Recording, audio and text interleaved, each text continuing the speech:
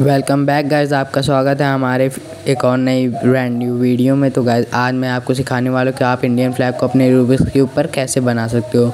तो सबसे पहले आपको क्या करना है कि यह ब्लू साइड को फ्रंट पे रखना है, या वाइट साइड को ऊपर रखना है एंड ऑरेंज साइड को आगे की ओर करना है, ऊपर एंड डाउन वाले लेयर को दो बार घुमा करके ग्रीन लेयर को आगे ले आना है। एंड उसके बाद हमें राइट साइड को नीचे करके मिडल लेयर को उस साइड करना है एंड राइट साइड को वापस से ऊपर कर देना है। एंड मिडल लेयर को फिर से उधर करना है।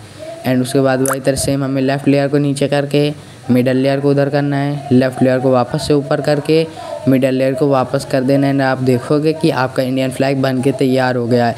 अगर आपको ये वीडियो अच्छी लगती है तो चैनल को सब्सक्राइब एंड वीडियो को लाइक ज़रूर करना।